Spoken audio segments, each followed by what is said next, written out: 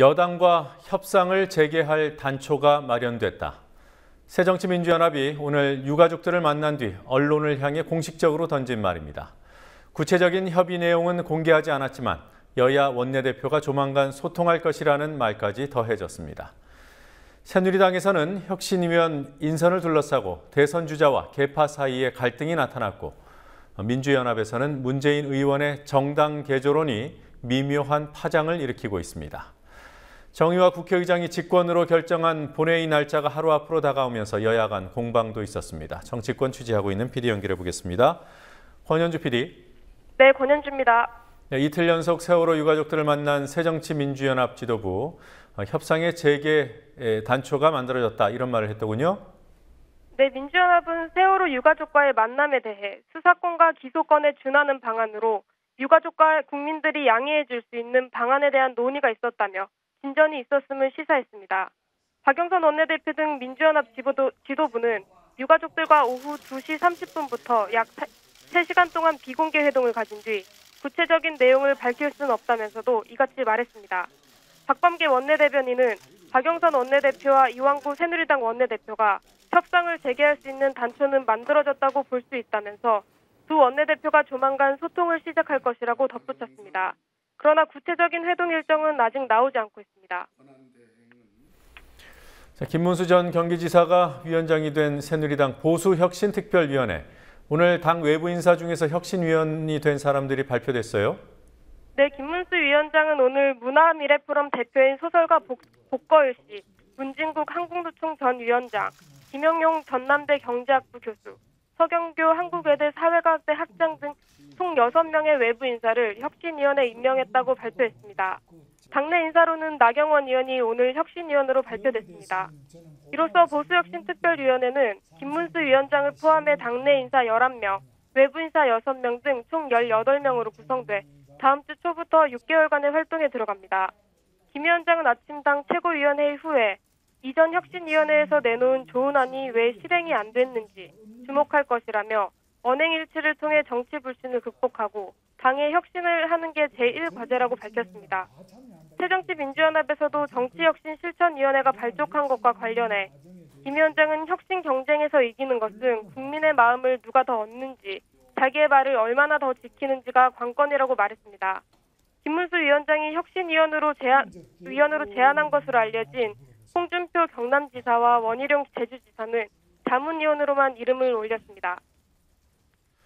네, 지금 얘기한 홍준표 지사와 원희룡 지사가 혁신위원회에서 빠진 거는요. 그 당내 반발 반발 때문입니까? 아니면 본인들이 그렇게 선택한 겁니까? 네, 당초 김문수 위원장은 오늘 비공개 최고위원회에서 홍 지사와 원 지사를 혁신위원으로 인선하려는 취지를 설명하며 설득에 나섰으나 김태호 이인재 최고위원 등이 반대하면서 혁신위원 내정을 철회한 것으로 알려졌습니다. 김태호 최고위원은 오늘 회의에서 혁신위의 혁신위원회 인적 구성에 대해 불만을 공개적으로 드러냈습니다. 어, 혁신은 혁신위에서 만들어낸 결국 결과물이 어, 설득력을 가지려면 그 인적 구성에서부터 당내 공감이 저는 필요하다는 생각을 갖고 있습니다. 그리고 또 일부에서는 우리 혁신이가 차기 대권 두 주자들의 놀이터냐 이런 비아냥 섞인 비판도 지금 나오고 있습니다.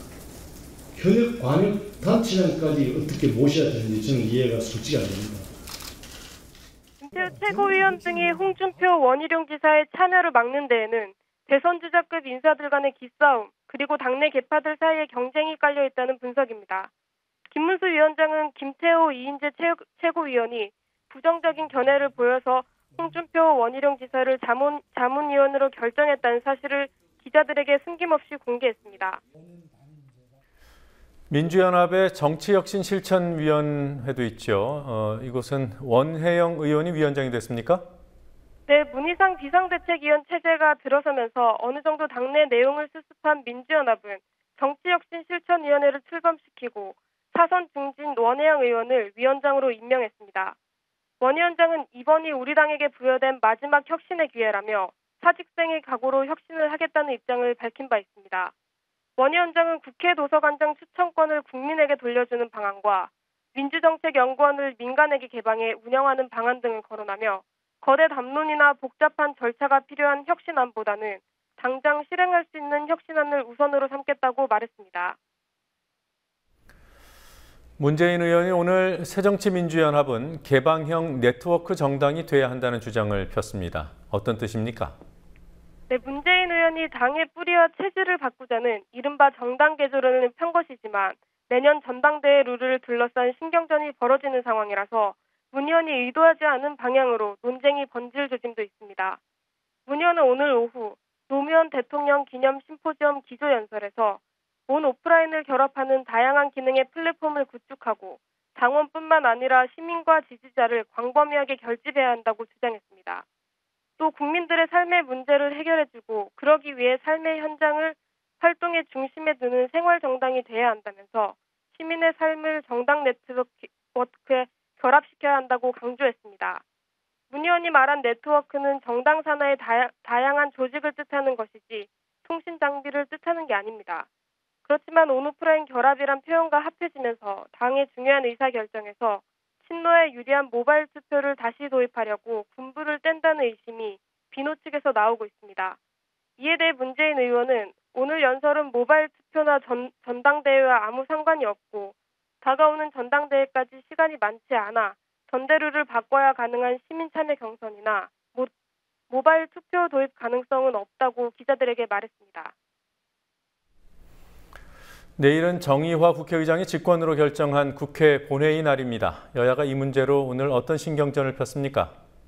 네, 새누리당은 의장의 결정에 따라 반드시 내일 본회의를 열어야 한다는 입장이고 민주연합은 여야 합의 없이 정한 의사 일정은 받아들일 수 없다는 입장을 고수하면서 공방이 이어졌습니다. 양당 원내대표 오늘 발언 차례로 들어보시겠습니다. 이 지구상에 국회 참여해달라고 참석해달라고 호소하는 그런 국회가 있겠습니까? 도대체 국회가 여야가 여야를 떠나서 어떻게 국회가 국회의원, 국회의원한테 국회에 참석해달라고 하는 일이 있어서 되겠습니까, 여러분? 지구상에 이런 나라 있습니까?